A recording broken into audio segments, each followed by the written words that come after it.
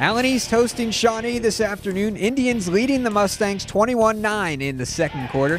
Home team trying to mount a comeback. Kylie Wiss has her shot blocked, but Aubrey Woods picks up the loose ball and goes off glass for two. Other end, Shawnee swings it to Ashley Metzger, and she finds the bottom of the net just inside the arc. 23 13, Lady Indians. Three minutes until half. Woods picks up the loose ball, hits Carly Clum on the break. Lay-in makes it a seven-point game. Shortly thereafter, Wiss gets into the lane and scores two more. Allen East on a bit of a run, and they're not done yet. Brandy Christ to Clum. She spins and lays it home. 25-20 Shawnee now. Final minute of the second quarter. Wiss to Woods. Mid-range jumper.